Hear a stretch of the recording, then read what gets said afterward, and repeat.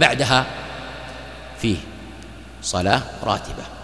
إما أن تصلي ركعتين كما جاء في الصحيحين من حديث ابن عمر رضي الله عنهما من فعله صلى الله عليه وآله وسلم وإما أن تصلي أربعة تفصل بين كل ركعتين بتسليمة لما جاء من حديث أبي هريرة رضي الله عنه عند مسلم إذا صليتم بعد الجمعة فصلوا أربعة.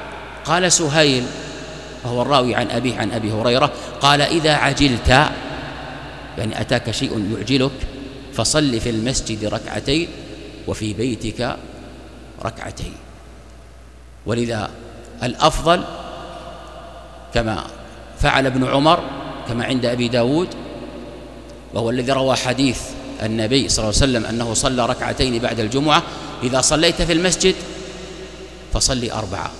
وإذا صليت في بيتك فصلي ركعتين وإن نوعت فلا إشكال في ذلك.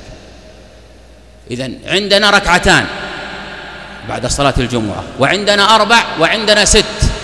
كل ركعتين مفصولة بتسليمة.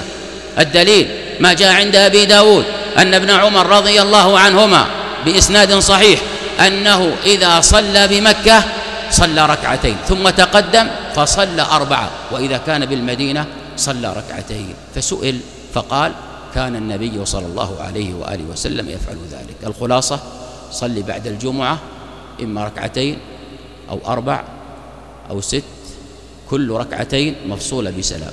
قبل الجمعة ليس هناك سنة راتبة محددة صل ما شئت إلى أن يحضر الخطيب.